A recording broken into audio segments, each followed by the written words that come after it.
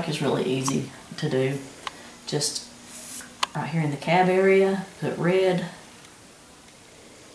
Let that set for a minute and chill. Then, well, I'll go ahead and show you even though it's not set for a minute. Logs, of course, brown. I don't have any black mixed up, so I'm just going to go ahead and do the tires chocolate too. And then you can pop these on a cupcake. That's really cool. Also, I did this the other day. I took these roses and I filled them halfway full and then I put peanut butter and confectionery sugar together and made peanut butter centers and it was so good. Okay, we're going to cut for a minute and I'll come back and pop these out in a minute. Alright, we've let these set for a few minutes, or like I said, you can pop them in the freezer and we're going to pop them out. There's the sunflower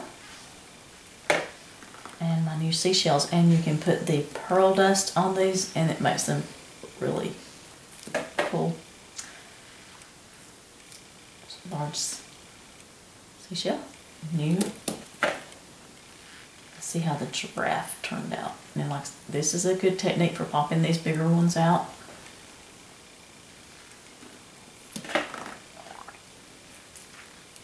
And these molds can also be used for resin, push molds, and different things too. There's the bulldozer, cute for little boys. I'll sh show you here in a second, putting the powder on them. Cute button doing the two-tone.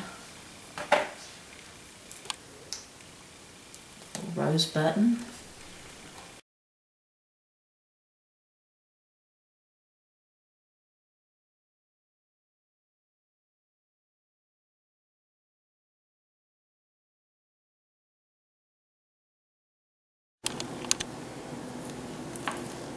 I just wanted to take a second and show you that when you cast these things in the chocolates are either fondant, either one, you can get these really cool pearl glimmers that are edible. And you just brush them on and it just makes everything really cool. Let's see, this one is pink. Let me show you what it looks like to put it on, like this pink button. And this is edible. I, I had no idea they made so many edible glitters and paints.